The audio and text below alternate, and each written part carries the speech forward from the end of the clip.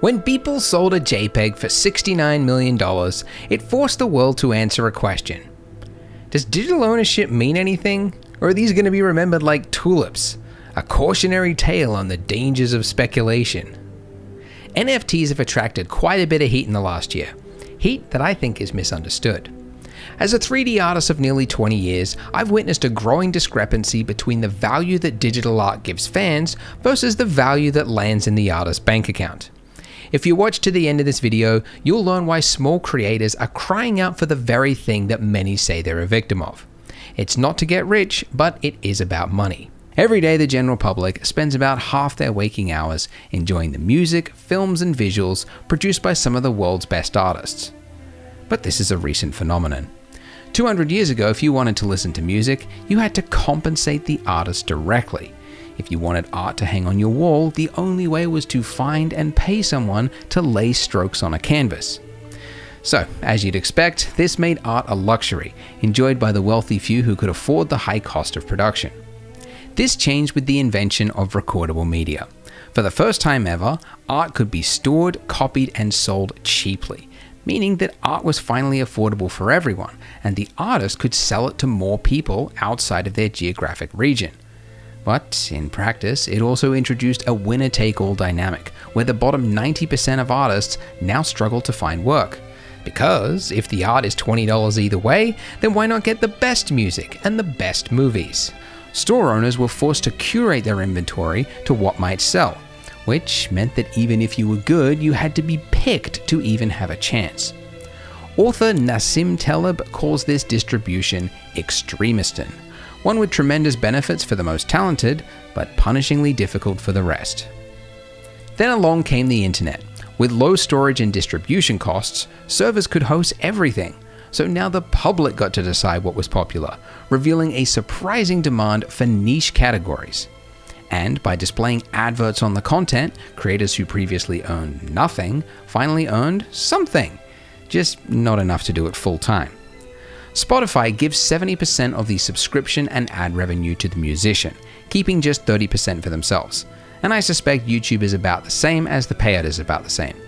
For every stream on Spotify or view on YouTube, the creator gets paid roughly half of one cent, which means they need about 1,000 plays just to afford a cup of coffee. And if they want a minimum livable wage, they'll need a whopping 10 million plays. This means that artists with niche styles will probably never be able to do it full time unless they broaden their appeal to the masses.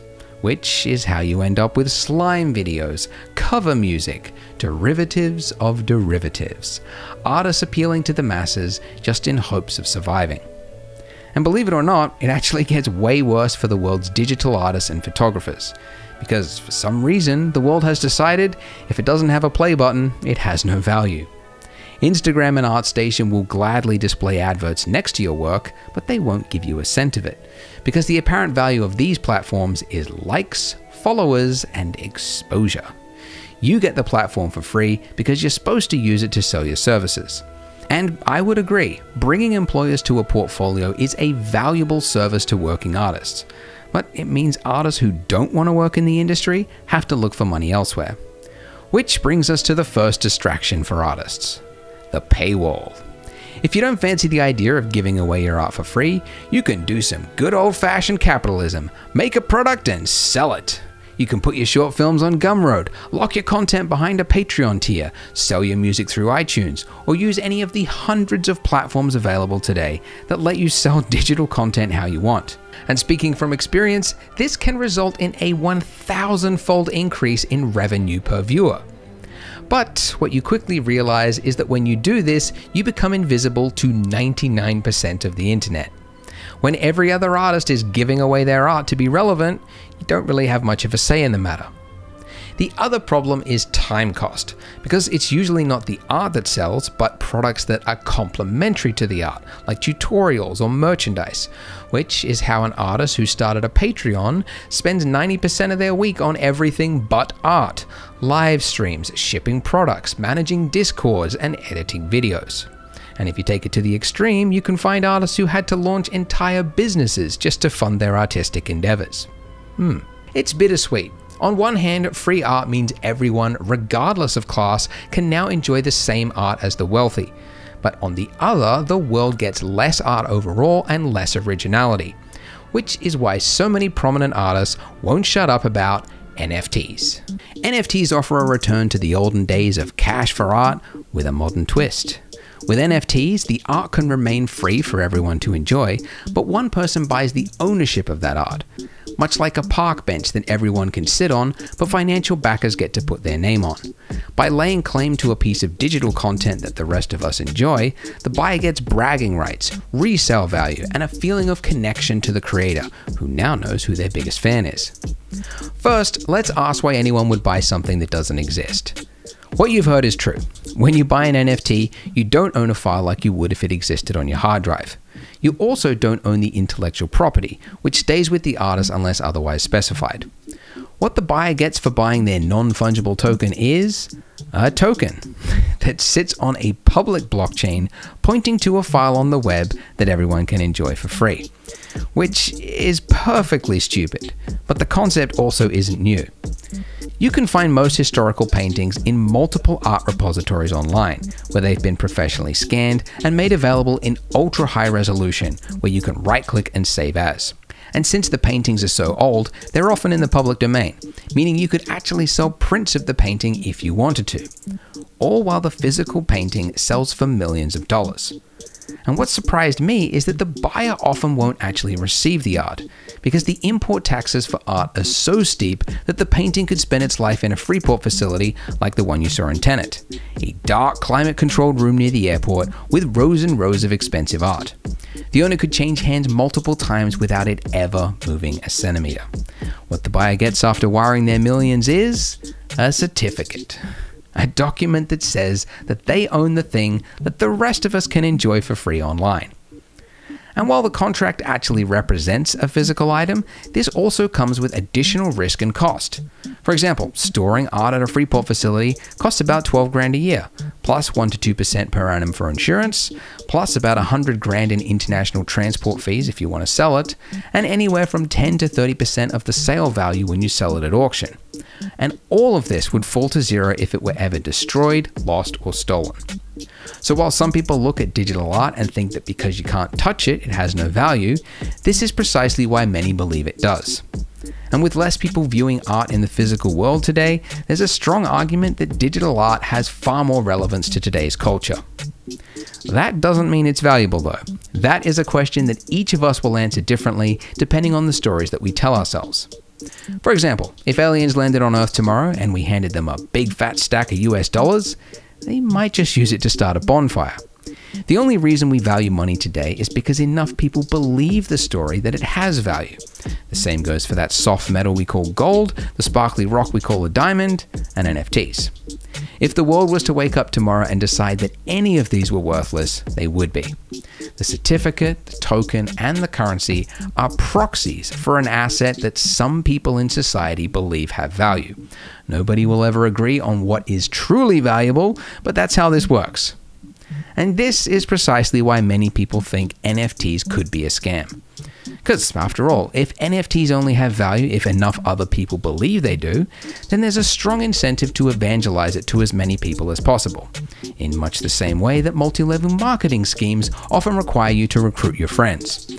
And to be clear, there are countless NFT projects that are honest to God scams roadmaps that'll never be fulfilled, wash trading to pump the price, or requirements that you recruit others. All designed to bring in as many buyers as possible for the sole game of finding the bigger fool. But does this mean that all evangelized products are a scam? Not quite. After all, Alexander Graham Bell went door to door with his wacky telephone invention too. And since the phone is pointless unless you have someone to call, recruiting your friends was built into the product. You could argue that currencies and social networks started the exact same way. But the reason we don't call the phone a scam is that they also created a productive value to society, which is key. NFTs need to provide a productive value to the people buying them, or they will not hold their value in the long term. And that's actually why I believe NFTs are here to stay, because they already create value for at least one type of buyer. There's actually three types of NFT buyers, but most people only know about the first two. The first is the investor. They're buying because they hope that the token will appreciate in value. They might like the project, or they might just want to diversify their portfolio. The second is the gambler. They can't really be called investors because they don't really know what they're doing. Lured by the promise of quick money, they're on multiple discords buying up the latest fad collectible. But the third type of buyer is why I believe NFTs are here to stay the die-hard fan. Die-hard fans buy NFTs for the same reason that people buy signed jerseys, limited print vinyls, and front row concert tickets. They buy to signal their dedication to the artist, feel connected to them, show off their good taste, and maybe even resell it one day if their early bets paid off. Now, these might sound silly, maybe even shallow, but they're already well established industries that go back decades. 90% of social media is basically bragging. Bragging about your holiday, your new car, the music festival you went to. Cameo is worth billions for the sole reason of letting fans feel connected to their idol. And eBay gives fans a platform to buy and sell billions of dollars of memorabilia. The reason you don't hear much about the die-hard NFT buyer is that, well, for one, it's super early, so there's not a lot of them. And two, nobody clicks on an article titled Fan Buys NFT for $60. It's hard to spot beneath the record breaking investment buys, but they're already happening in the arts community. Like a sculptor who sold a photo for 52 bucks, or a 16 year old blender artist who sold this for about 200 and this for 1100 or the Singaporean artist who sold her first piece for 2900 all of these people started with little to no followings, so it's reasonable to assume that these were not bought for investment. And for the time put into the art, most of these artists are barely making minimum wage. But for the first time in history, they're selling the actual art, not an external product, not a membership, and not fractions of a penny from ad revenue. The actual art in a way that serves the needs of their fans and their income. NFTs also enable opportunities that were never possible before, like for secondary sales to give a percentage back to the artist, ensuring that the artist is rewarded for their earlier work as their career grows, or the ability to create customized content for buyers. Art Blocks specializes in this by letting creators sell a concept which uniquely generates new artworks each time it's sold based on the wallet ID or the hash of the transaction, or licensing, like the Bored Ape Yacht Club, which gives owners exclusive rights to use their image commercially. So owners could use it to create their own businesses, launch sub brands, or collect royalties from the merchandise sales. Or voting rights on the IP, so the people most invested in the story can have a say in what the brand does next. And this is just NFTs so far. The internet was first envisioned as a better way to send faxes, so in the same vein, we're only seeing NFTs used in the way that we're most familiar with them. So what I've just presented is the optimistic, rosy outlook of NFTs. But it would be disingenuous not to mention the many problems and hurdles to overcome. The biggest threat to NFTs is the complex technology that it's built on. So hyped and criticized by people with perverse incentives, it's hard to know what promises are legitimate and what are fundamental flaws. For example, Ethereum struggles to handle even a small volume of transactions, resulting in huge fees when trying to pay for anything. But the internet suffered the exact same problem at the start. It wasn't until a decade later that servers could feasibly replace commerce. The same could be said about the speculation and its many security flaws. The book, How Innovation Works, outlines why the version that reaches widespread adoption often bears little resemblance to the first. But on the flip side, books like Bad Blood serve as cautionary reminders for what happens when you rely on it too much. There are some legitimate problems with NFTs that I don't think will be solved anytime soon, like theft. Buyers basically have to rely on social media to verify whether the art actually came from the artist. There are some initiatives to solve it, but they do seem very easy to bypass. Marketplaces could adopt Know Your Customer verification, but they're still probably going to need to rely on manual verification, just like YouTube does. NFTs aren't unique in this problem, as art sites like Society6 have enabled the same theft for years. But it doesn't give much comfort to buyers who want guarantees that it's authentic. Another issue is security. While private keys and cold storage wallets appeal to the early adopters, not everyone wants to be their own bank. To reach mainstream appeal, NFTs and crypto in general need to have a centralized option for those that want it. And Ethereum needs more security on what code can be deployed to the blockchain. Because right now, scammers are able to send essentially viruses disguised as NFTs. Then, when the owner of the wallet tries to delete them, it automatically extracts funds from their wallet. Yo, this is fake. This is fake. This is fake. This is fake. They popped up in my wallet. I clicked on it to delete it. Immediately, they stole 19 grand. Need fucking help immediately. Not a good look. That said, other problems I'm more optimistic on. For example, the environmental effects of mining will soon be solved by the Ethereum network moving from proof of work to proof of stake later this year. And even if it sounds like an empty promise, all new blockchains already use this technology. So you could sell on them today, in one of the most environmentally friendly sources of revenue that an artist has available. Another problem is storage. While blockchains are decentralized, the content of the NFT is often stored on traditional servers, which means they could be deleted or changed by whoever owns the server. But companies like Filecoin, Filebase, and Arweave are solving this problem by storing the files on an IPFS network, which creates incentive for the seeders to keep storing the files indefinitely. So, as you can see, the debate for crypto often boils down to whether you think technology is making society better or worse. Tech people are optimistic, and the public is generally more pessimistic, especially those who have had their data exploited or businesses ruined. I'm confident that crypto will be mainstream within 10 years, but what I'm not sure on is whether anything resembling today's blockchains will be what we use. Here's what I think the next 3 to 5 years might look like. First, collectibles will either face an outright crash or a large readjustment. Since there's a finite number of buyers willing to hedge bets on new IP, it stands to reason it will eventually reach a saturation point. Number two, governments will start to regulate NFT marketplaces to the same degree as they already do for crypto exchanges. They'll require know your customer policies for both buyers and sellers, which should hopefully fix some of the scams and theft that we see today. Number three, blockchains will get more user friendly and institutions will step up to ensure the funds and purchases, finally making it suitable for the masses. And number four, Facebook, Instagram, YouTube, and Spotify will all follow Twitter's lead, adding NFT features to either let fans buy content on their platform or brag about it on their profile. NFTs currently resemble the internet of the early 90s. It's a wild west of unregulated markets, scammers, and opportunists but it's also one with tremendous promise. For the first time in history, digital artists are selling their actual art, resulting in a surge of creativity. In the last year alone, I've seen more original CG art than the previous 10 combined.